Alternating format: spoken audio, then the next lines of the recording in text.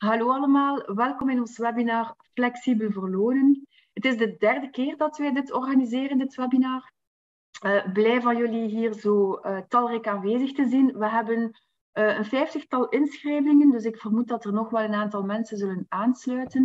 Ik zie veel bekende gezichten, ik zie ook een aantal nieuwe mensen in onze community, maar iedereen alvast van harte welkom. Ik ga een introductie geven van vijf minuutjes, um, om toch HR Talents eventjes kort voor te stellen voor mensen die ons nog niet zo goed kennen. Um, een aantal practicals. Um, jullie kunnen vragen stellen via uh, de microfoon uiteraard. Dan moet je eventjes unmuten en dan gooi je je vraag in de groep. Jullie kunnen ook een vraag stellen in de chatbox. Hè. Ik hou die eigenlijk gedurende het hele webinar in de gaten en ik ik onderbreek dan Maura wel eventjes in haar verhaal als jullie uh, bepaalde verduidelijking willen. Ook heel belangrijk, na het webinar sturen wij de presentatie na. Uh, waardoor als je nog bepaalde zaken eens terug wil zien, dan kan je die, uh, de presentatie ontvangen. En ook belangrijk, wij nemen deze dit, dit webinar ook op. Hè. Dus uh, er zal een opname van vrijgegeven worden. Als je nu zegt van, goh, ik wil niet dat mijn naam hierop te zien is of af te lezen valt, geef ons dan een seintje, want GDPR-wise hebben wij wel jullie toestemming nodig. Um, dus mochten daar rond problemen zijn, laat het ons dan weten. Van harte welkom, fijn dat jullie erbij zijn. Ik ben Sofia, ik ben General Manager van HR Talents. Um, en HR Talents maakt deel uit van de House of Talents groep. Hè. Dat is een, een groep van een elftal bedrijven die allemaal werken rond bepaalde knelpuntberoepen. Wij hebben een, een die werkt rond verpleegkundigen, ingenieurs, technische mensen, financial mensen, salesmensen, ICT-mensen um, en wij zijn HR-talents. Wij hebben een zusterbedrijf, uh, Consulting, overgenomen, gespecialiseerd in assessments. En wij hebben ook in Nederland een grote groep overgenomen, de Human Network, ook allemaal gespecialiseerd rond knelpuntprofielen. Wij zijn een staffing agency um, en wij zelf, hè, wij kunnen uh, kandidaten aanbieden uh, in drie verschillende contractvormen. We hebben ongeveer 100 vacatures voor vaste werving- en selectieopdrachten. We hebben ongeveer een, een dertigtal consultants op onze payroll die wij detacheren bij onze klanten. En die mensen zijn gespecialiseerd in operationeel HR-werk. Dat gaat van uh, payrollprofielen tot uh, generalistische mensen met een generalistische background. En dan hebben wij ongeveer vandaag de dag 140 interim managers die voor ons aan het werk zijn uh, bij verschillende bedrijven. Um, zowel nationaal als internationaal. En zoals daarnet vermeld, hè, doen wij ook, kunnen wij ook assessments aanbieden en dat wordt dan verzorgd door onze partner Quintessence Consulting. Wij zijn marktleider in België. Hè. Wij, hebben, wij zijn actief in een vijftiental landen. Vandaag de dag werken ongeveer 150 professionals voor ons. Um, wij hebben een hele grote community die wij ook heel graag inspireren, animeren door de organisatie van deze webinars. Alles is te volgen op onze LinkedIn-pagina en ook de meeste van onze vacatures kan je terugvinden op onze website. Wil je meer weten, dan nodig jullie, jullie hartelijk uit om contact op te nemen met een van onze collega's. We hebben vacatures van hard HR, soft HR, generalist, eigenlijk alles binnen het HR-veld. Dus als jij zegt van, goh, ik ben op zoek naar een, nieuwe collega of ik ben op zoek naar een nieuw project, dan nodig ik jou zeker uit om contact op te nemen met mensen uit ons team. Wij hebben een intern HR-team van ongeveer een, een 22-tal uh, collega's. Uh, afhankelijk van regio en businessline uh, kunnen wij jullie ondersteunen. En dat doen wij ook met heel veel plezier en passie. Wij zijn netwerkers puur sang. Mensen en ons netwerk inspireren is wat we graag doen. En dat is ook wat we vandaag gaan doen met het webinar uh, met, dat we opgezet hebben met Maura. Het is de derde keer dat Maura voor onze webinar verzorgt. En, en wat vind ik zo goed aan Maura? Omdat zij complexe materie heel goed en heel eenvoudig kan uitleggen. Het is echt haar expertise, haar sweet spot. Um, jullie mogen zeker vragen stellen, mocht iets niet duidelijk zijn. Um, ja, we maken het graag interactief. Um, het is de derde keer dat we dit doen, Mora. Heel erg bedankt voor jouw eh, bijdrage aan het inspireren van onze community. En zeker met dit topic, hè, dat in elke organisatie vandaag de dag toch wel actueel is en waar elke goede HR-generalist uh, toch wel mee bezig moet zijn vandaag de dag. Dus fijn dat jullie hier zijn vandaag. Heel hartelijk welkom nogmaals. En Maura, ik zou zeggen, the floor is yours. Je kan starten met jouw presentatie. Dankjewel, Sofia. ik ga onmiddellijk van de gelegenheid gebruik maken om mijn scherm te delen. Ja. Oké, top, top, top. Uh, misschien eerst een, een, woordje uitleg over wie dat ik ben. Uh, wie weet dat een van jullie al in de eerste of de tweede sessie die ik eens heb gegeven voor HR Talents. Maar uh, evengoed ben je ook voor mij een nieuw gezicht en ben ik voor jullie een nieuw gezicht. En dan is het altijd sympathieker om eens voor te stellen wie dat er voor u zit. Dus ik ben Maura Nachtergalen en ik ben een van de drie co-founders van Payflip.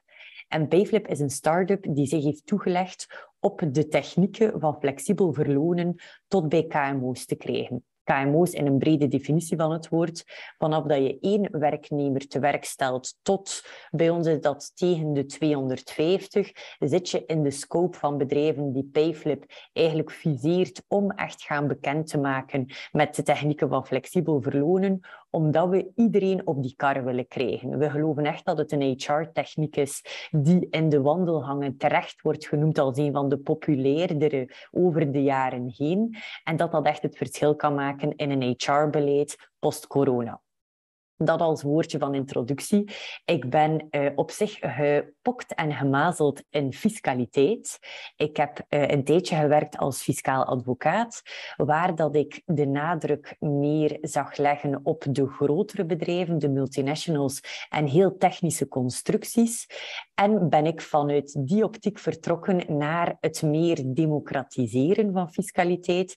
Heb ik de grote multinationals vaarwel gezegd en heb ik in het kader van Payflip een nieuw soort adviesverlening willen lanceren, puur naar KMO's en specifiek rond loonfiscaliteit en alles op gebied van loonopportuniteiten.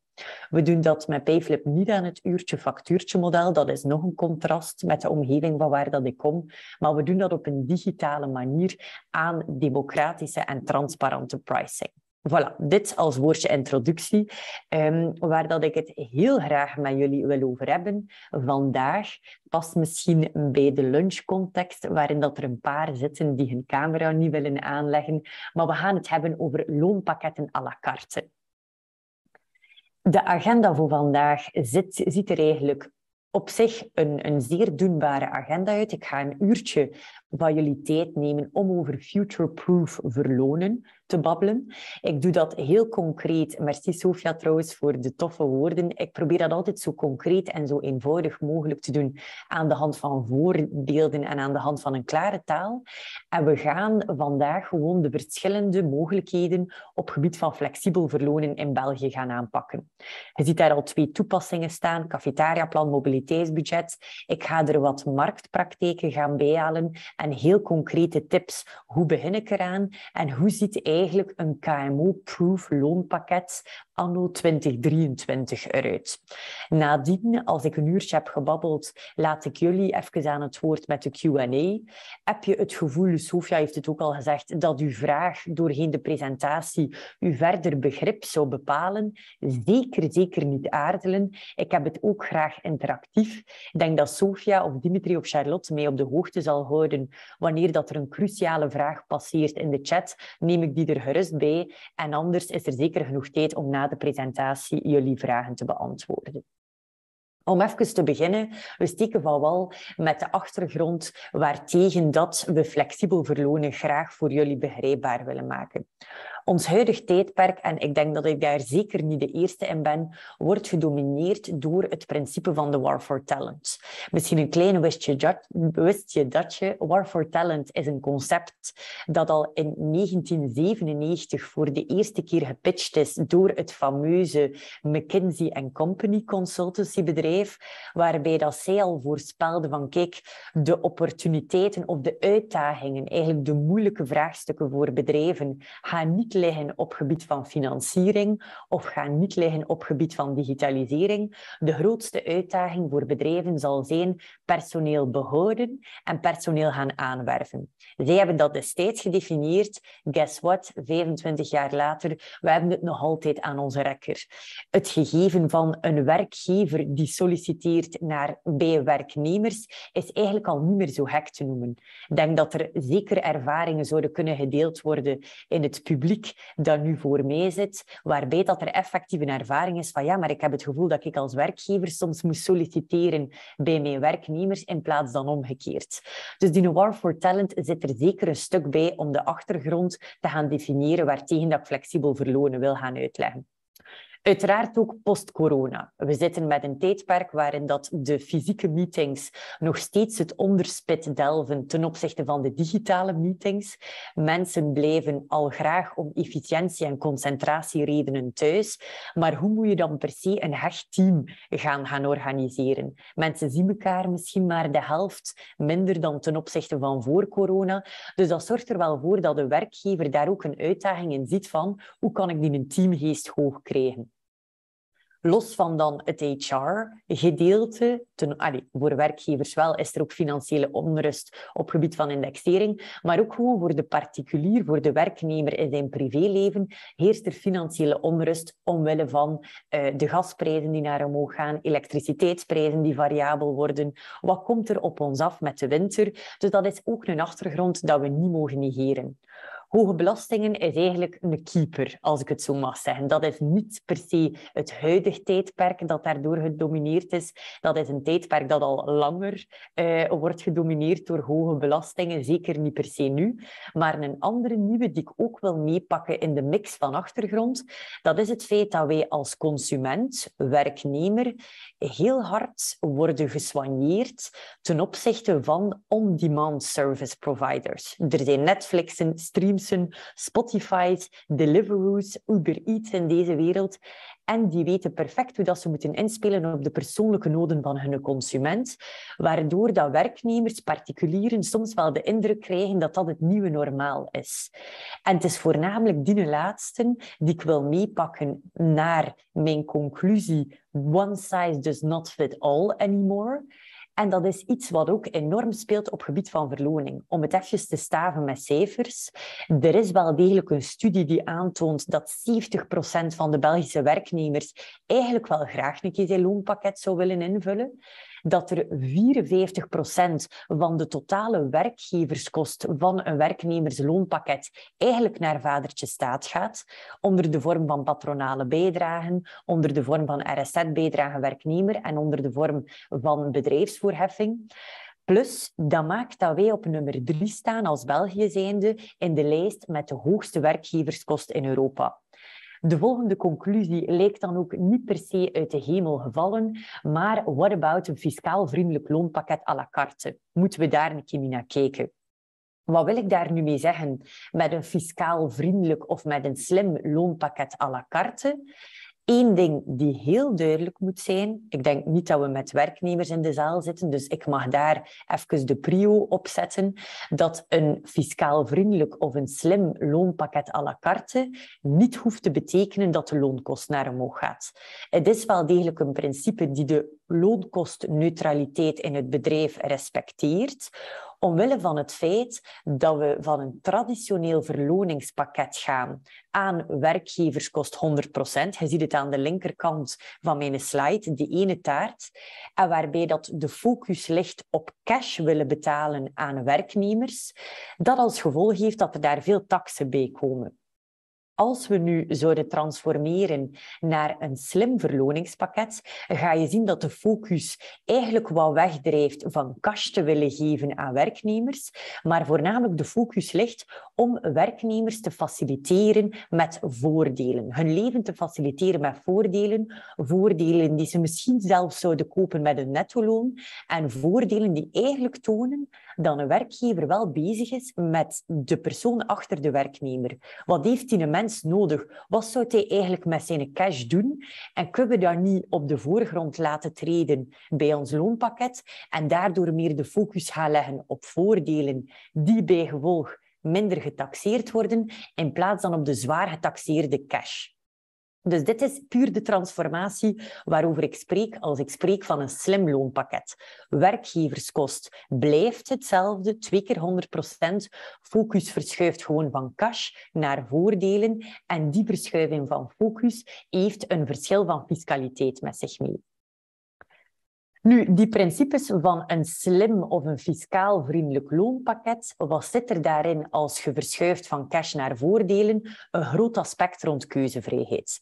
Er is geen enkele werkgever die op papier door de wetgever zou verplicht worden van dat er nu flexibel verloningsplannen moeten ingevoerd worden. Absoluut niet. Dat is soms ook het eerste wat ik zeg tegen werkgevers waartegen ik babbel. Van kijk, als je graag een HR-beleid 2.0 wilt lanceren, misschien is verloning bij jullie wel eerder het sluitstuk dan de startblok. Dat is echt wel de werkgever die moet voelen van, past dit nu al in mijn loonpolitiek of mijn HR-politiek breder genomen 2.0, of past dat er nog niet in? Er is een volledige keuzevrijheid om als werkgever te gaan beoordelen wanneer de tijd rijp is. Natuurlijk is het wel zo, een keer dat de werkgever zegt van ik voel dit gaat hier echt, dit gaat hier een impact creëren in mijn HR-politiek ten opzichte van mijn personeel, is het nog altijd up to de werknemer om zelf te gaan kiezen, ga ik nu deelnemen of ga ik nu niet deelnemen? Bij de keuze voor deel te nemen is er ook nog altijd een waaier aan voordelen die ze ofwel wel ofwel niet willen kiezen. Dus die keuzevrijheid zit hem enorm qua initiatief bij de werkgever, maar dan qua participatie ten opzichte van de werknemer heeft die laatste alle vrijheid voor te tonen hoe hard dat hij wil inzetten op zijn eigen flexibel loonpakket. Wat brengt dat ook met zich mee? Een tweede principe, de win-win. En de win-win, ik ben mij daar heel goed van bewust dat dat een soort goedkope saleszin lijkt te zijn. Dat is niet de bedoeling. Maar dat is wel degelijk een waarheid dat op gebied van de werkgever, zoals ik al zei, is er geen extra loonkost, maar is er ook geen financiële winst. Dus je gaat niet je loonkost naar beneden zien gaan door een flexibel verloningsplan te gaan invoeren of een slim verloningsplan, komt ze bij de flexibiliteit aan. Wat is dan wel de win voor de werkgever? Dat is het feit dat hij zonder een extra investering in loonpakketten wel zijn employer branding gaat boosten. Het feit dat iemand definieert dat met de efforts rond HR, en de efforts kunnen allerhande zijn. Hè. Je kunt je een pingpongtafel willen installeren, Friday drinks willen doen, uh, gigantisch stoffen, teambuildings organiseren, opleidingen organiseren. Maar soms, om de cirkel volledig rond te maken met een nieuw fris HR-beleid, moet je soms tering naar de nering zetten en de mensen impact bieden waar dat ze het meest voelen, en dat is in de portemonnee. En dat kun je wel effectief doen aan de hand van een transformatie naar een slimmer loonpakket. Dus dat bedoel ik net met het boosten van employer branding. Nu opnieuw, ik maak altijd de twee splitsingen, werkgever-werknemer. Waar zit die win nu langs de kant van de werknemer? Dat zou moeten duidelijk zijn. Die werknemer krijgt plots de autonomie om zijn eigen loonpakket te gaan indelen. Die flexibiliteit lijkt op de flexibiliteit die hij begint gewoon te worden met een Netflix, met een streams. En dat geeft een modern fris jasje. Dat toont engagement. Hij zit naar zijn gevoel dan bij een werkgever die oog heeft voor zijn persoonlijke noden. Nu, we moeten er ook niet stom over doen. Ik heb het net getoond op de slide. Een slimmer loonpakket brengt minder belastingen teweeg. En zo heeft die werknemer eigenlijk ook een beeld van ah, ik heb hier netto gewonnen door in te stappen in een flexibel verloningsplan.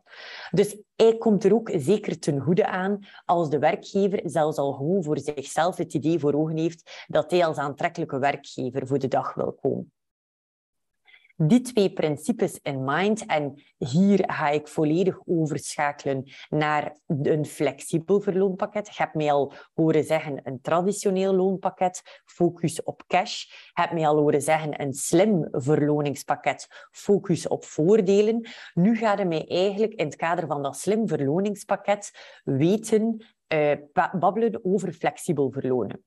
Flexibel verlonen in België kent dat twee toepassingen. Het kent er geen drie, het kent er geen één, het kent er maar twee. En dat is enerzijds cafetariaplan en anderzijds mobiliteitsbudget. Wat is nu het verschil tussen de twee? Het zou duidelijk zijn aan de hand van deze emojis. Cafetariaplan is het woord die de praktijk altijd gaat gebruiken om cash salaris te gaan besteden aan voordelen of benefits. De origine daar is altijd cash. Dat kan cash zijn uit de vorm van een eendejaarspremie, of dat kan een cashbonus zijn, of dat kan een referral fee zijn, of dat kan extra barimicloon zijn. Ik ga daar straks even op doorgaan. Maar bij cafetariaplannen is de origine altijd cash. Terwijl bij mobiliteitsbudget is de origine een bedrijfswagen. Een werknemer de opportuniteit geven voor de kost dat een werkgever heeft aan een bedrijfswagen te gaan transformeren in een mobiliteitsbudget. En hij doet ermee wat hij wil dan op gebied van mobiliteit. Hij moet gewoon die een auto afgeven en dan kan hij zijn mobiliteitsbudget gaan besteden aan belastingvrije keuzes. Dus super, super belangrijk voor nog even het verschil te zien tussen de twee. Het zijn de twee pijlers van flexibel verlonen in België. Alle twee zijn ze werkgeverskostneutraal, superbelangrijk. Maar het grote verschil zit hem gewoon in de origine Cafetariaplan gaat altijd vertrekken vanuit cash-elementen van het loon. Mobiliteitsbudget gaat altijd vertrekken vanuit de bedrijfswagen. Nu, voor ze stapsgewijs te overlopen, dat je heel goed ziet hoe dat de twee meer gedetailleerd in elkaar zitten, ga ik altijd hetzelfde stramien hanteren. Ik heb dat zelf graag, dat ik bepaalde slides herken, zowel qua content als qua illustraties. Dus je gaat mee op, op gebied van cafetariaplan en mobiliteitsbudget telkens de tweesplitsing weten maken tussen creatie van het budget enerzijds en besteding van het budget anderzijds. En je kunt die slides eigenlijk één op één naast elkaar leggen om goed te kijken wat dat dan het verschil is. Bij het cafetariaplan tweedelige opzet. Tweedelige opzet die ook gaat terugkomen bij het mobiliteitsbudget. Maar we hebben het hier nu over het cafetariaplan. Enerzijds moeten we spreken van de act of budget creation. Er moet eerst budget gaan gecreëerd worden, alvorens dat je werknemers kan zeggen van kijk, spreekt u budget aan om benefits te gaan aankopen in plaats van cash. Dus er moet eerst budget gecreëerd worden. En daar is het hoofdprincipe.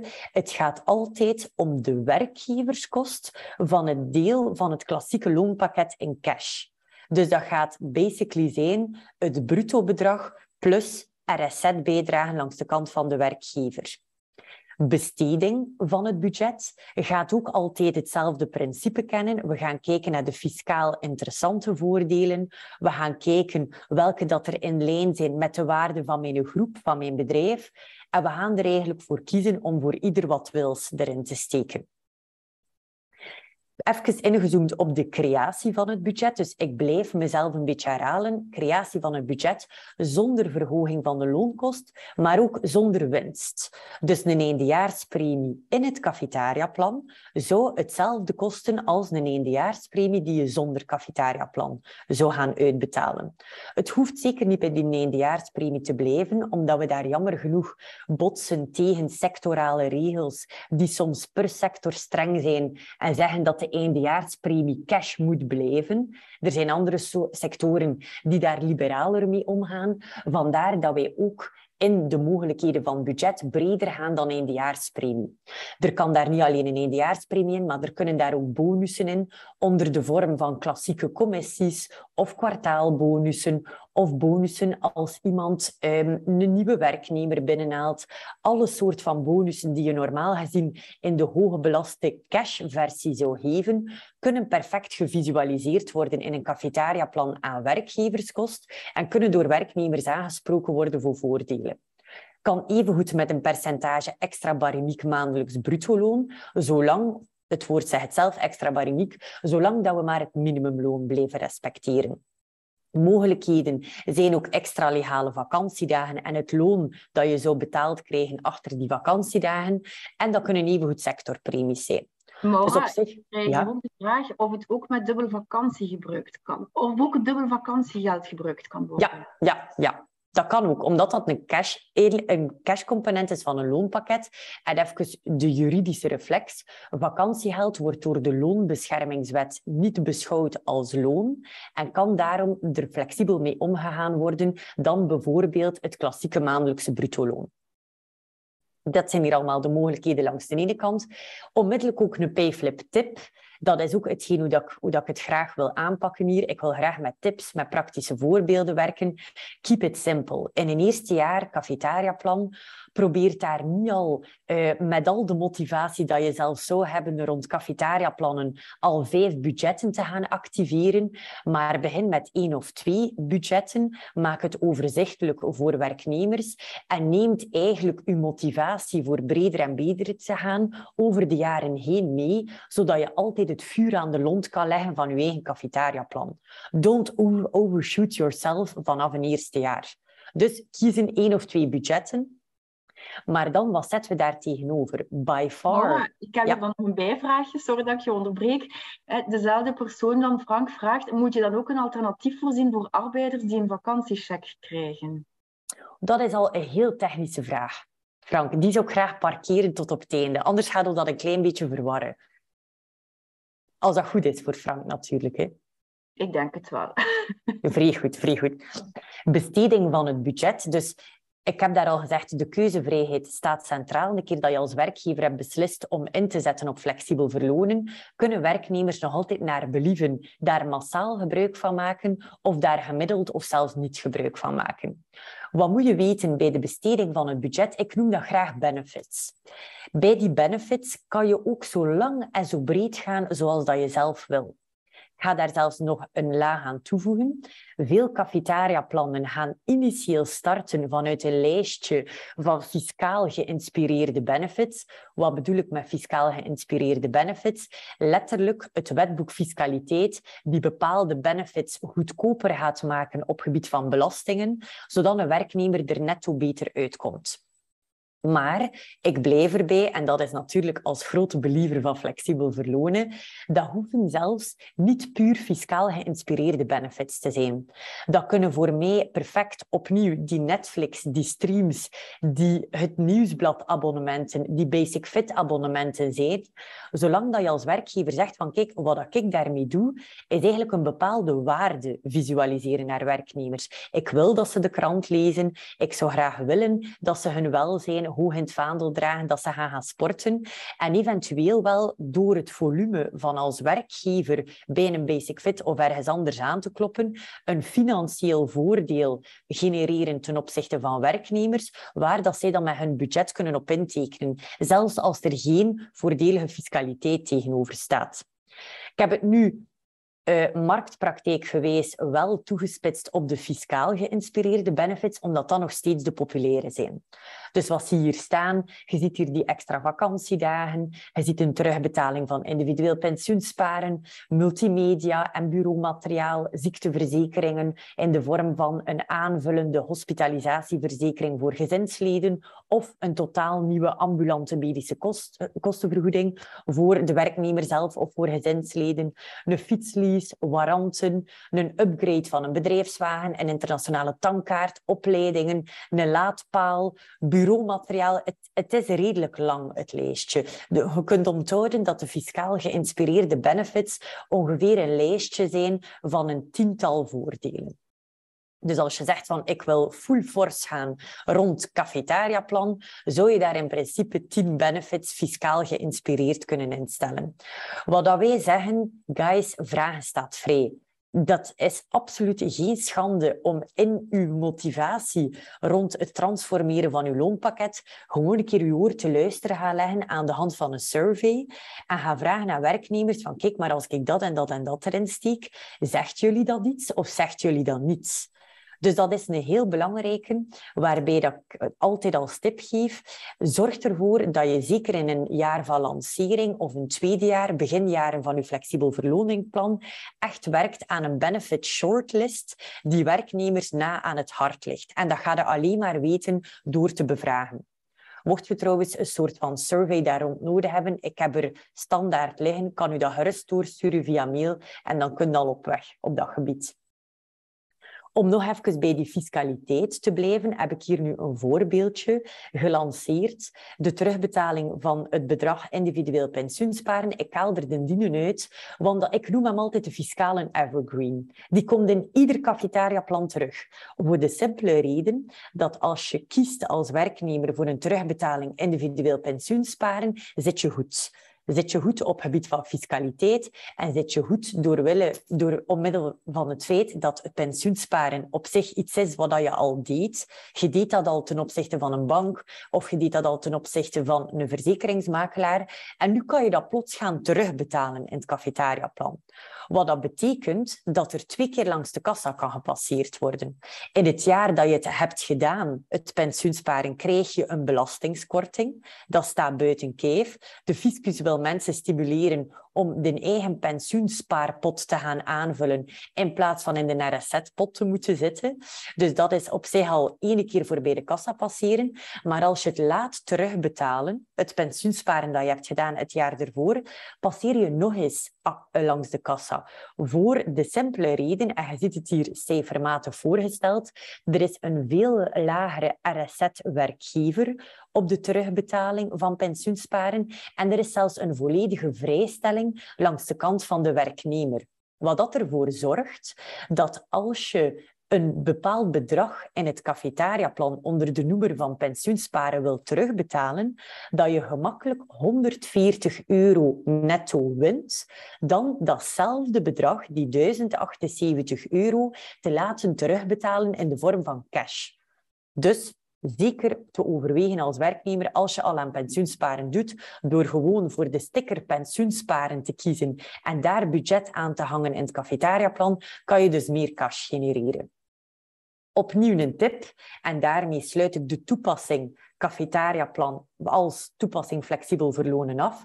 Dat is, als je denkt aan een cafetariaplan, denk aan mijn tip. Een budget werkgeverskost dertiende maand doet het zeer goed, is zeer populair, zolang dat de sector het toelaat. En de voordelen die ik daaronder heb gezet, zijn ook zeer populair. Met daarbij altijd de mogelijkheid om toch als werknemer cash te gaan kiezen. Dus allez, als je van iets een foto zou moeten trekken, maar je krijgt zeker nog de presentatie toegestuurd, dan is het dit. Dit is een heel populaire opzet voor KMO's om een cafetariaplan te gaan installeren. Nu doe ik exact dezelfde systematiek ten opzichte van het mobiliteitsbudget. Heb mij al horen zeggen, twee pijlers van flexibel verlonen in België. Enerzijds cafetariaplan, waarbij dat er monetaire cashcomponenten als budget worden geactiveerd en kunnen gespendeerd worden. Mobiliteitsbudget, andere pijler van flexibel verlonen, waarbij dat de creatie van uw budget puur uit een auto komt opnieuw tweedelige opzet. Heb ik mij net horen zeggen. Creatie van het budget bestaat erin om een werkgeverskost te plakken op de kost van, uh, sorry, op een auto, op de ter beschikkingstelling van een auto. En we noemen dat de total cost of ownership. En we gaan daar opnieuw bestedingen tegenover zetten die fiscaal interessant zijn, maar wel mobiliteit geïnspireerd, maar opnieuw ook de vrijheid voor elk wat wils.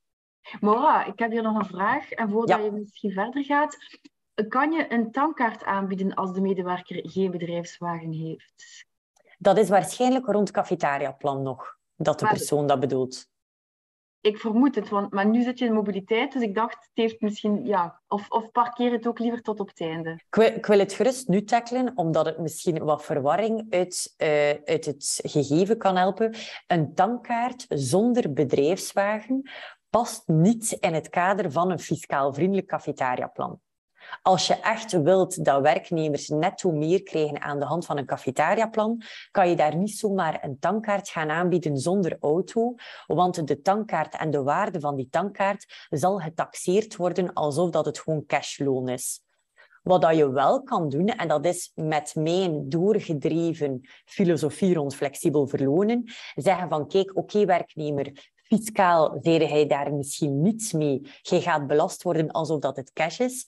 Maar wij willen dat allemaal voor u regelen, die tankkaart. Wij willen die tankkaart voor u regelen. Wij willen daar af en toe een keer een stuk zelf van financieren voor u, zodat dat financieel voor u toch interessant is. En dan kan de werknemer nog altijd zien van, ah, oké, er wordt hier echt wel gedacht over het organiseren van iets dat ik persoonlijk nodig heb. Dan moet ik het tenminste niet zelf doen. En ten tweede, mocht er dan toch nog een, eh, een kleine bijdrage zijn langs de kant van de werkgever, is de werknemer er dan toch ook financieel beter vanaf. Tankkaarten op zichzelf, Sofia, zijn niet te kopen in het kader van het mobiliteitsbudget, omdat je net de auto gaat gaan inruilen voor iets anders. En voor dan een tankkaart te gaan kopen, zou eigenlijk heel het systeem van het mobiliteitsbudget niet doen. Dus het is echt de bedoeling met het mobiliteitsbudget dat je vaarwel zegt voor de klassieke polluting car. En dat je, ik ga daar zo toe komen, gaat gaan je geld of de investering die een werkgever heeft aan de klassieke bedrijfswagen, dat je dat gaat gaan besteden in pijler 1, 2 of 3, gedefinieerd in de wet mobiliteitsbudget. Ja. Dus tankkaart moet je eigenlijk niet picturen hier in het kader van het mobiliteitsbudget. Kan je wel picturen in het kader van het cafetariaplan. Nu, creatie van, dus opnieuw, we zitten wel degelijk bij het mobiliteitsbudget. Was, wat is één budgetcreator bij het mobiliteitsbudget? Is puur de total cost of ownership van de bedrijfswagen. En hier wil ik even bij stilstaan. TCO, mocht je daar nog niet van gehoord hebben, het is echt de new thing het is de new thing en het is niet iets dat er plots is en die weer zal verdwijnen. TCO is effectief de manier om met de begrotingen rond bedrijfswagens om te gaan, omdat dat de parameter is die alle kosten rond een auto visualiseert. Mocht je blijven spreken over leasebudgetten, heb je bij wijze van spreken de helft van het hoe weer niet mee als je zou willen duidelijk maken aan een werknemer wat dat, dat allemaal niet kost, een auto. Dus massaal wordt er nu ingezet, zeker met de vergroening van de car policies, om car policies transparanter te maken met de parameter TCO in plaats van met de parameter leasebudgetten. Want wat zit er wel degelijk in TCO, hoor ik mij zeggen? En leasebudget, en brandstof, en verzekeringen, en bijstand, niet aftrekbare BTW, vennootschapbelasting op niet aftrekbare autokosten, plus solidariteitsbijdrage RSZ. En ik kan zelfs nog een tijdje doorgaan, ook de onkostenvergoedingen die zouden gelinkt zijn met uw bedrijfswagen. Dat is TCO. En als je daar de berekening van maakt per categorie van werknemers die allemaal dezelfde auto hebben of per individu, zou die persoon kunnen zeggen van kijk, ik geef hem terug mijn auto. Meestal gebeurt dat na de leaseperiode, dat werkgevers die mogelijkheid geven aan werknemers. Ik geef die een auto terug en geef mij gewoon virtueel de kost van die auto op jaarbasis om mijn eigen mobiliteit te gaan organiseren. Een belangrijke. Nu, die besteding, hoe kun je nu je eigen mobiliteit gaan organiseren? Het is iets beter gedefinieerd dan bij het cafetariaplan, voor de simpele redenen dat er een wet op het mobiliteitsbudget bestaat die dit zeer specifiek definieert. Dus de wet mobiliteitsbudget zegt, pijler 1, een milieuvriendelijke bedrijfswagen kan altijd in de plaats komen van een klassieke bedrijfswagen. Wilde jij die een bedrijfswagen niet, kan je altijd je mobiliteit organiseren aan de hand van duurzame vervoersmiddelen of huisvestingskosten. En of zelfs huisvestingskosten. En pijler 3 is puur cash waarbij dat elke pijler zijn eigen fiscaal voordelige behandeling geeft. Dus opnieuw, fiscaal geïnspireerd. Dat is echt de bedoeling geweest van de wetgever, van de politiek, van de regering, van het parlement, voor echt die een bedrijfswagen zoveel mogelijk van de baan te krijgen en de mobiliteitsknoop in België te gaan oplossen. Als ik nu spreek over elke pijler heeft zijn eigen voordelige fiscale behandeling, kan dat hier gerust al even toucheren. Pijler 1 de milieuvriendelijke bedrijfswagen, waar zit hier de voordelige fiscale behandeling, is gewoon het feit dat eh, voor de werknemer er een lager voordeel la aard wordt aangerekend, hoe milieuvriendelijker dat uw auto is. Dus dat is al een voordelige fiscaliteit. Langs werkgeverskant natuurlijk, hoe milieuvriendelijker dat je gaat op gebied van auto's, hoe hoger dat de aftrekbaarheid is. Alvast tot 2026, want dan wordt alles generiek, moeten het elektrische auto's zijn en is die aftrekbaarheid verplicht op een bepaald percentage. Pijler 2, duurzame vervoersmiddelen en huisvestingskosten, is een heel lang lijstje van allerlei alternatieve mobiliteit. Gaande van de aankoop van speedpedelecs tot een caravanuren om mee naar het buitenland te gaan, een taxi gaan installeren, uh, openbaar vervoersabonnementen kopen, busabonnementen kopen, zelfs voor uw gezin. Maar met een heel toffe opportuniteit die zelfs de meest creatieve jurist niet had gezien. Maar de wetgever heeft zelfs gezegd, als iemand een bepaald percentage van thuis werkt of iemand werkt dicht bij het werk, wettelijk wordt dat gedefinieerd als 10 kilometer van de werkplek wonen, die persoon mag zelfs zijn huurgelden gaan inbrengen of zijn aflossingen en interesse van hypothecaire leningen omdat de wetgever zegt van kijk, iemand die zich zo organiseert om ofwel veel thuis te werken, om dicht of om dicht bij de werkplek te wonen, maar die mens gaat veel rapper zijn auto dan afgeven en moet daar dan ook een voordeel voor in de plaats krijgen en mag op een netto is bruto manier of bruto is netto manier zijn huisvestingskosten gaan inbrengen. Dus ongelooflijk interessant. Ik ga dat zo een tonen met een voorbeeldje.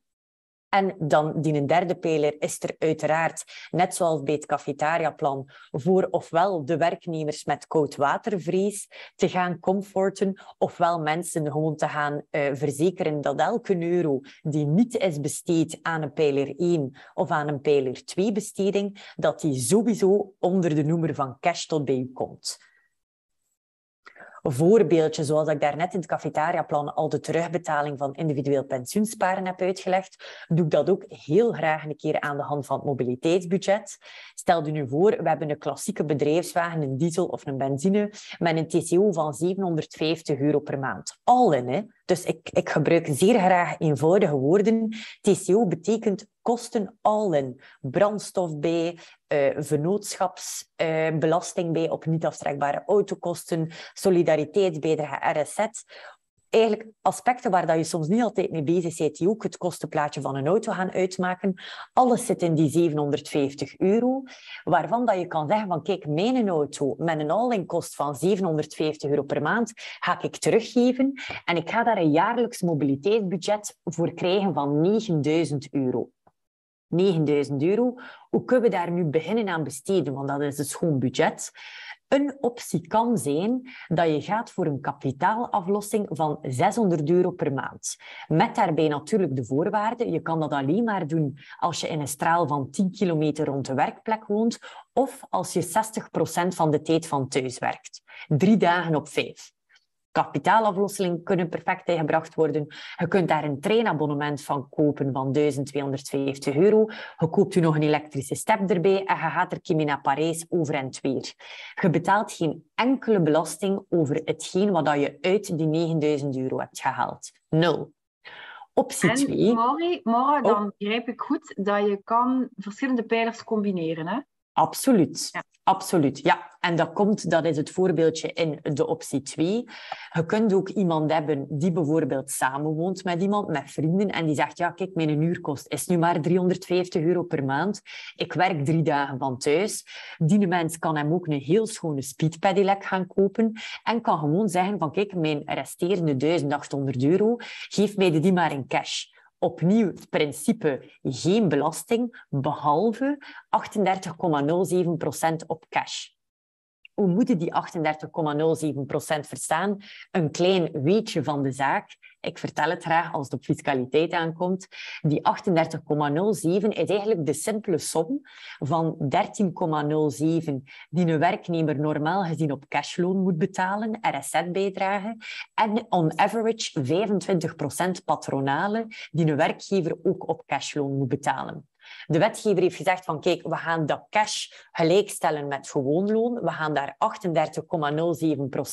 gaan vanhalen. We gaan daar op zich geen belasting op heffen. Dus dat is puur een RSZ-bijdrage, die zelfs kan bijdragen tot de werknemer zijn potpensioen. Dus voilà, opnieuw een KMO-tip, omdat ik graag tips geef. Wat zie ik deze dagen immens veel passeren als transformatie? Car policies die al werken aan een vergroening om klaar te zijn anno 2026. En wat bedoel ik daarmee? Dat er nu geen diesel- of benzineauto's meer zullen geleased worden voor een periode van vier, vijf jaar. Dat gaat je quasi niet meer zien. Mensen zijn daar al, of werkgevers, het liefst zijn daar echt al mee bezig om op die manier te gaan opschuiven naar een groene bedrijfswagen voor in 2026 fris aan de start te staan, een keer dat het allemaal verplicht elektrische auto's moeten zijn. Wij zelf ook. Vorige week hebben wij een Customer Success Manager aangenomen. Ik ben bewust een lease aangegaan van drie jaar en niet langer, om die een auto dan te kunnen afgeven eind 2025 en vanaf 2026 beginnen met de groene auto's. Wat zien we nu? Met die redenering rond dat groene, dat werkgevers eigenlijk ook wel goed gesnapt hebben van ja, ga ik dan Tesla's of whatever elektrische modellen gaan geven, maar eigenlijk het meest groene van al, als ik mijn groene car policy wil rondmaken, ik moet daar gewoon een hoofdstuk mobiliteitsbudget in zetten.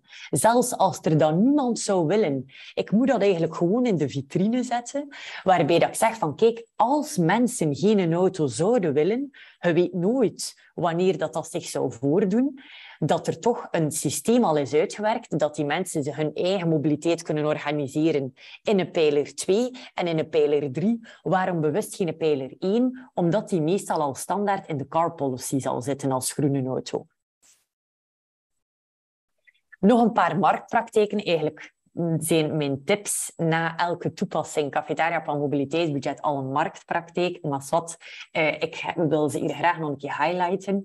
Op gebied van cafetariaplan zien we een heuse shift naar de eindejaarspremie en de bonus als populairste budgetten in het cafetariaplan. En zien we dat company-specific benefits in het cafetariaplan aan belang winnen. Exact hetgeen wat ik al heb gezegd. Misschien benefits die niet per se een fiscaal voordeel nastreven, maar die eventueel een financieel voordeel hebben, maar waarbij dat je zegt als werkgever, ik wil gewoon faciliteren. Ik wil erkenning tonen voor de persoonlijke noden van mijn werknemer en ik ga zijn leven beginnen faciliteren en hij moet er maar met zijn loon voor betalen. Je is dan tenminste organisatorisch al ontlast andere belangrijke market trend sluit een beetje aan met wat ik daarnet heb gezegd op het gebied van mobiliteitsperk, op mobiliteit, eh, mobiliteitsbudget, sorry. Ik speel hier soms met woorden, een nieuw mobiliteitsperk. Uh, daarmee willen we zeggen dat het mobiliteitsbudget een noodzakelijke aanvulling is op de groene car policy. En dan stellen uh, veel KMO's mij soms de vraag van ja, maar passen mobility benefits dan nog altijd in het cafetariaplan? Want hebt mij horen zeggen dat er in het cafetariaplan plaats is voor een fietslease bijvoorbeeld. Ik zeg absoluut. Absoluut, want niet elke werknemer heeft een auto die hij kan inruilen voor een mobiliteitsbudget. Dus zoals dat ik daarnet zei, cafetariaplan gaat niet over een auto, gaat over cashcomponenten van een loon die je graag zou willen omwisselen. Terwijl dat mobiliteitsbudget puur de oorsprong in die auto vindt. Ja, iemand zonder auto die zouden anders beroven van alternatieve mobiliteit, mochten daar die fietslease niet in steken.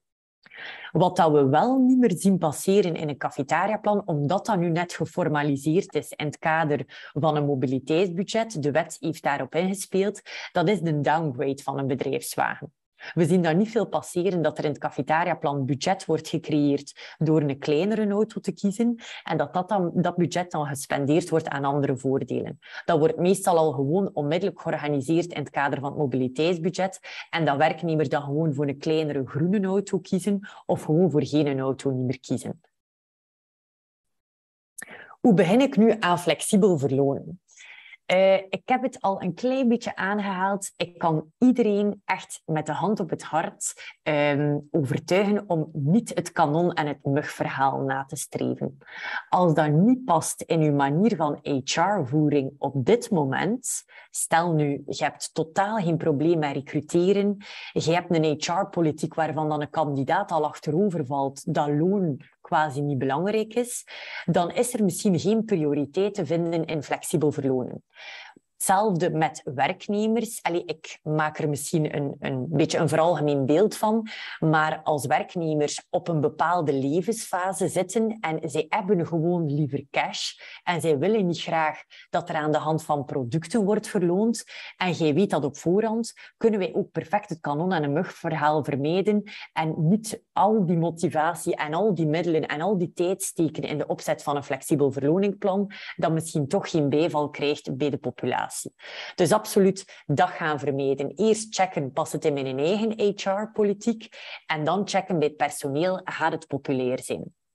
Ik moet zeggen, bij alle twee de checks die zouden moeten gebeuren, in mijn visie, wordt er toch wel veelal gezegd van, ja, er is hier zeker wel uh, interesse voor. Dus probeer dat ook challengen um, en misschien op de roadmap te zetten qua HR-projecten naar de toekomst toe. Zwat, een keer dat je gedacht hebt gemaakt over ik wil aan flexibel verlonen gaan doen of niet als werkgever, moeten er spelregels gedefinieerd worden. Voor mij is dat zeer duidelijk. Goede afspraken maken goede vrienden. Als het flexibel verlonenplan te vloe of te abstract of te niet concreet zou gedefinieerd zijn, ga je daar alleen maar miserie van hebben. Er gaat daar heel veel communicatie, gepingpong zijn, mensen die het niet gesnapt hebben, die niet weten dat praktisch, juridisch, fiscaal in zijn werk gaat. Dus er moeten spelregels gedefinieerd worden en die spelregels moeten, naar mijn mening, zoveel mogelijk zwart op wit staan.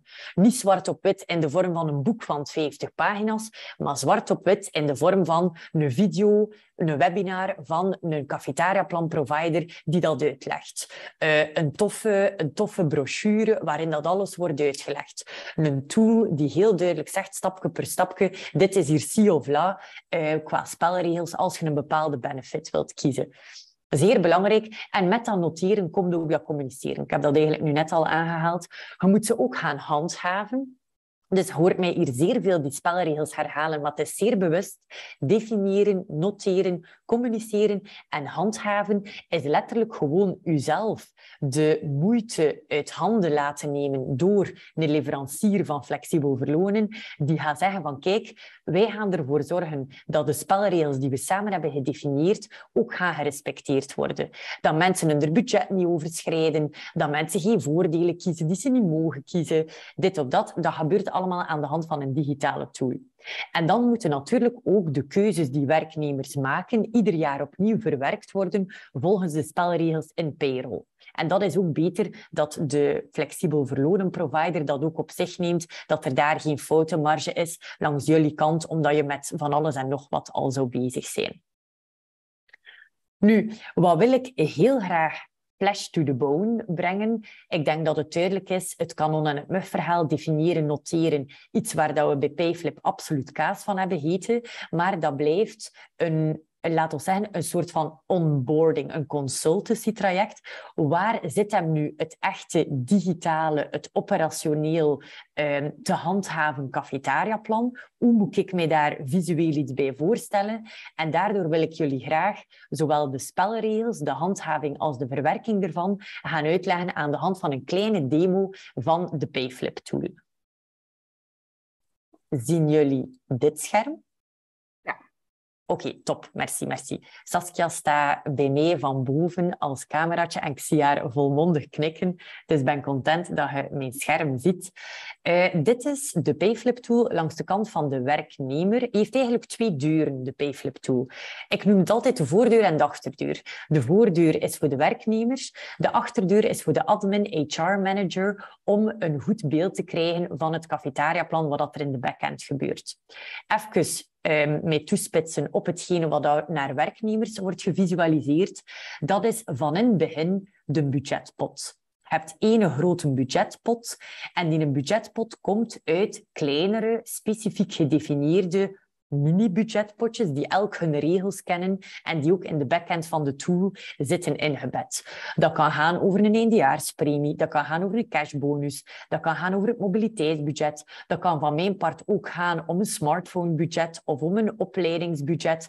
Whatever budgetten die je cash aan een werknemer zou geven, maar die je eigenlijk wel graag visualiseert naar werknemers en waarbij je dan ook heel duidelijk kunt gaan zeggen dat budget kun je aanspreken voor die, die en die voordelen. Payflip gaat ervoor zorgen, ik ga dat zoiets tonen, dat dat bij die bestellingen bij de leveranciers terechtkomen. En Payflip gaat er ook voor zorgen dat er op gebied van payroll alles correct in een loonbrief komt te staan. Dat is eigenlijk de happy flow waar dat we ook uiteraard juridisch tegemoetkomen. Als iemand een budget wil aanspreken, zal die persoon wel een handtekening moeten plaatsen onder de bijlagen bij de arbeidsovereenkomst die er standaard uitrollen uit een tool. Ik heb hier nu ervoor al cashbonus en mobiliteitsbudget geactiveerd. Op zich moet een werknemer dat activeren voordat hij er iets mee kan doen en zijn ook de juridische puntjes op de i gezet. Belangrijk is hier ook een chatfunctie. Dus werknemers kunnen onmiddellijk met ons chatten. Wij hebben een legal team van zes personen, Franstalig, Nederlandstalig, Engelstalig, die erop springen vanaf dat iemand een vraag zou hebben over het cafetariaplan en daardoor niet de HR-managers moeten lastigvallen. Wat we hier tonen, is ook een duidelijke simulator. Wat heeft iemand nu eigenlijk qua fiscaliteit gewonnen door niet voor de cash-uitbetaling van deze potjes te gaan, maar wel voor de voordelen die erachter zitten.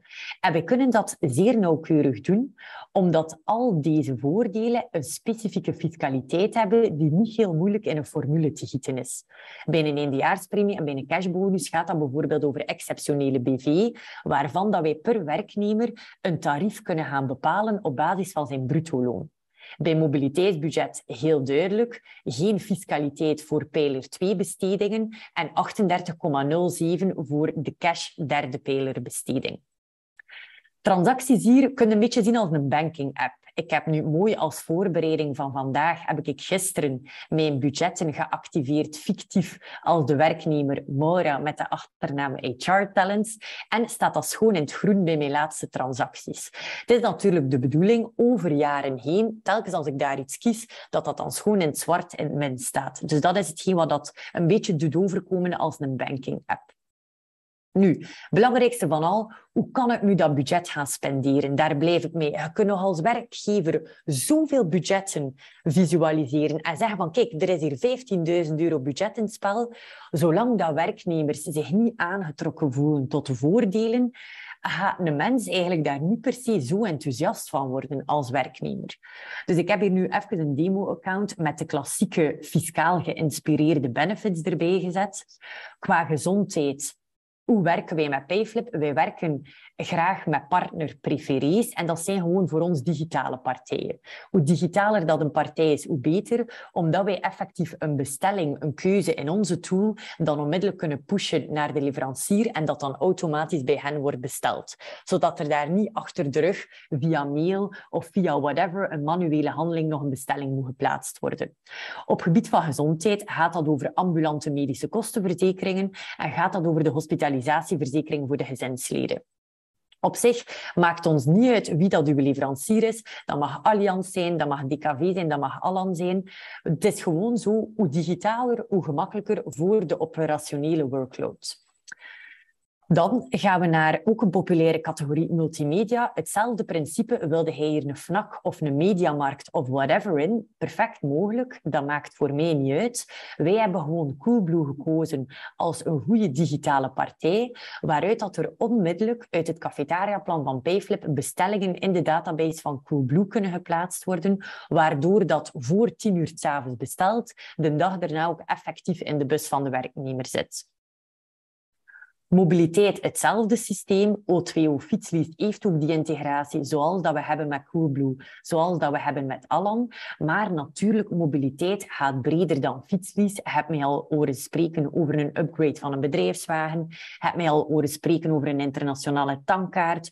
Er kon hier ook nog een upgrade van een um, tweede klas treinsabonnement bij. Er kon hier een laadstation bij. Ik heb hier gewoon een bepaald aantal voordelen gekozen voor het jullie gewoon te visualiseren. Opnieuw, hier staat O2O, moet dan een cyclobility zijn, een B2Bike zijn. Uh, het maakt ons ook niet uit, zolang dat die partij maar mee is in het idee van het afwikkelen van een transactie in het cafetariaplan op een gemakkelijke manier. Work-life balance. Hier gaan we op basis van iemand zijn bruto-loon de werkgeverskost van een vakantiedag, kan dat eigenlijk gerust een keer tonen, de werkgeversdag, uh, werkgeverskost sorry, van een vakantiedag gaan visualiseren. Ik heb mijzelf, ik weet het nog goed, gisteren een werknemer gemaakt met een bruto-loon van 3000 euro.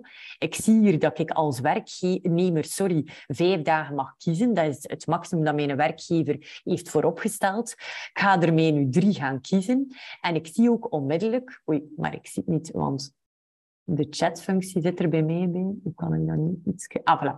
Ik zie ook onmiddellijk wat dat mij dat kost. Uh, dus ik zie hier dat als ik het wil toerekenen op mijn eendejaarspremie, dat het mij 527 euro kost. Maar dat ik eigenlijk niets ga kunnen doen, zolang dat ik dat budget ook niet geactiveerd heb. Dus zo proberen wij werknemers ook altijd eerst in de juridische stap goed te krijgen, alvorens dat ze daar gekke dingen doen met budget. Dus dat bedoel ik echt met spelregels handhaven. Die mens kan dat even goed met een cashbonus kopen, zoals dat hij dat zelf wil. Voordeel in vergelijking met cash is 0 euro. Waarom? Omdat je op die vakantiedagen in het cafetariaplan ook zal betaald worden en die betaling is onderhevig aan belasting. Vandaar dat we zeggen 0 euro. Dus voilà.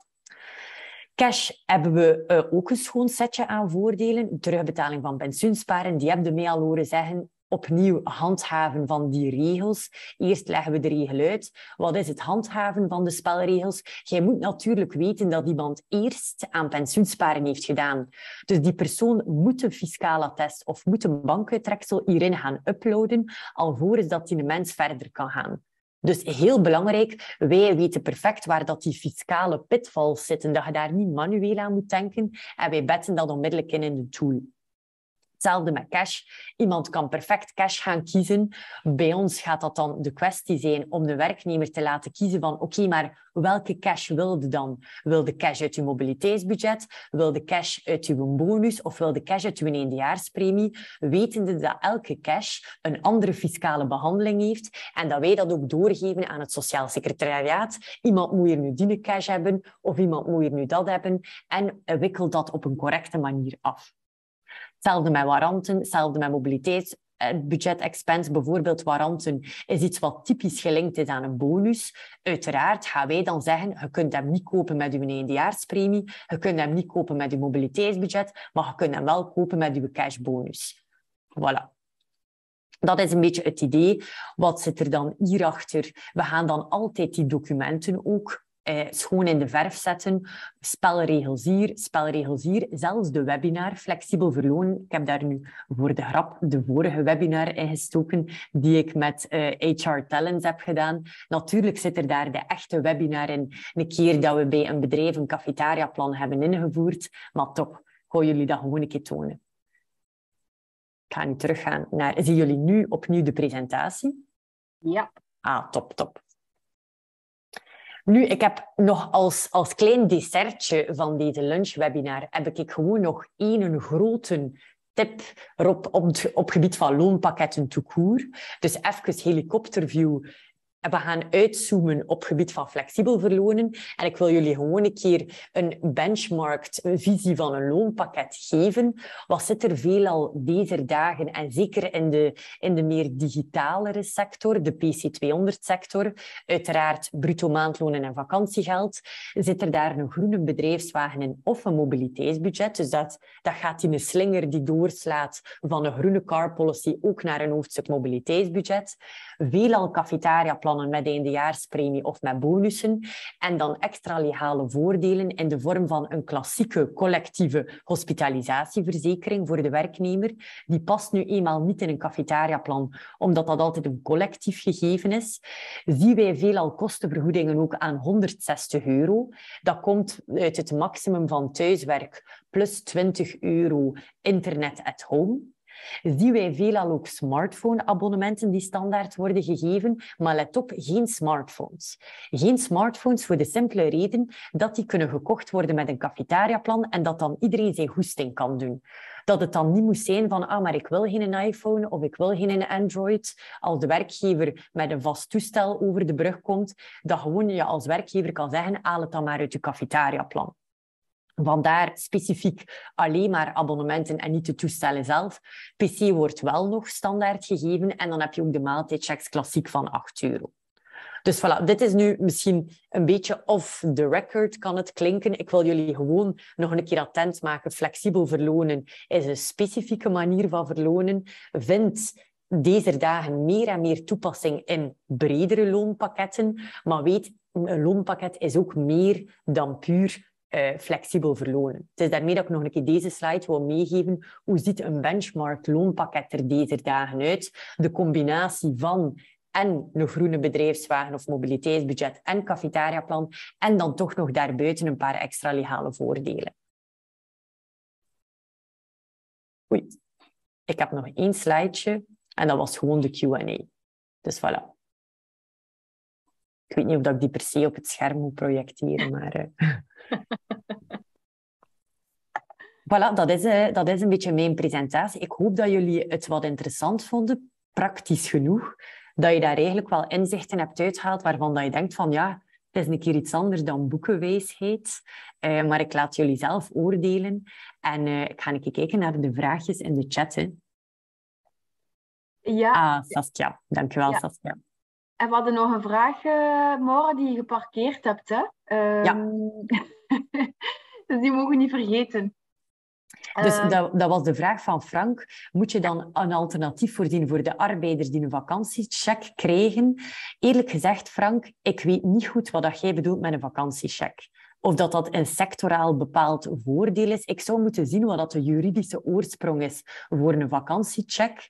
Voor te gaan kijken in de sectorale regels, kan dat omgewisseld worden in een cafetariaplan naar een budget dat anders kan gespendeerd worden dan cash. Dus ik kan daar op dit moment moeilijk over oordelen. Frank, zet gerust je microfoon aan als je dat ziet zitten om om er iets meer uitleg aan te geven. Of heeft geantwoord in de chat. Arbeiders... Ja, ik, eh, ja, ik wil gerust zeker, uh, via, als het mag, uh, via de micro.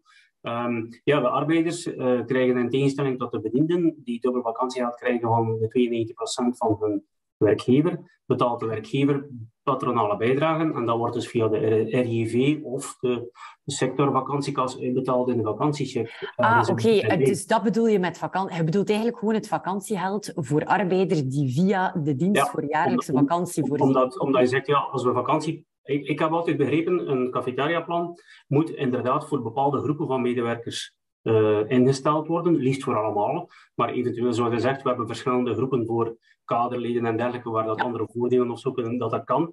Maar als persoonlijk HR-beleid zegt van oh, we gaan nu iets doen alleen maar voor de bedienden en die zijn daar dan wel te enthousiast over, ja, dat wreekt ook wel ten opzichte van uw beleid naar uw ja. Ja, ja, absoluut. ja, um, moet je dat dan op een andere manier proberen in te vullen? Absoluut. En wel, nu dat ik iets beter weet wat je wilt zeggen met vakantiecheck, Frank, moet ik u jammer genoeg teleurstellen.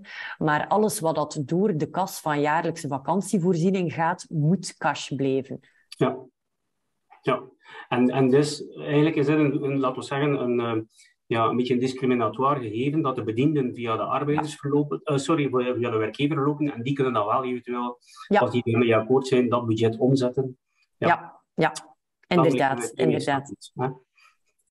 Nee, inderdaad. Daar, daar haal je een gevoelig punt, maar wel een correct punt aan. Ja. Ja, vandaar dat ik twijfelde of het wel legitiem is om het uh, dubbel vakantiegeld op te nemen als budgetvorm in een cafetariaplan. Ja, ja, ja.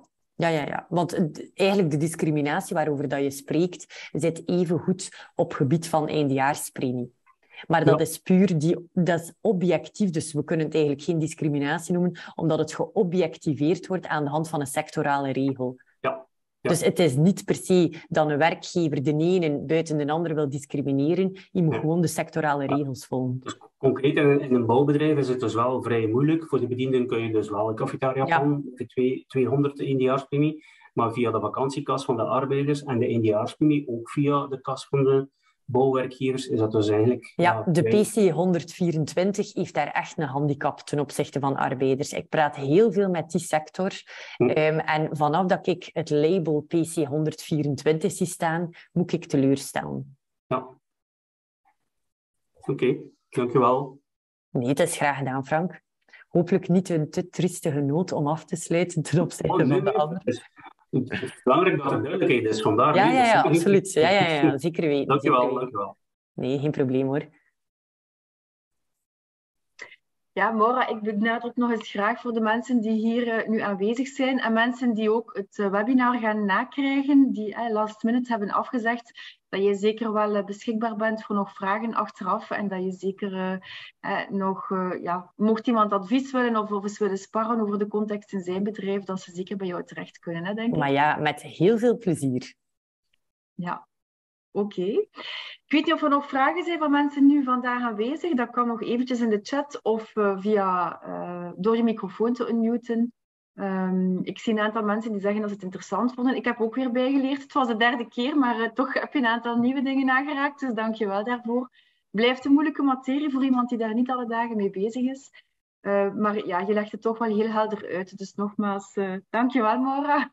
Dat is zeer graag gedaan. Merci ook iedereen voor tot op het einde te luisteren. En uh, toch een beetje food for thought hoop ik dat ik aan iedereen heb meegebracht. Ik denk het wel, absoluut. Oké, okay. dan denk ik dat we hier gaan uh, afronden. Um, ja, ik heb geen, uh, geen andere opmerkingen. Dank u, zeggen de mensen. Dank je wel. Dank u voor de toelichting. Wij sturen het na de opname en de slides. En dan zien we jullie graag een volgende keer terug. Bedankt allemaal. Supergoed. Salutjes. bye. bye.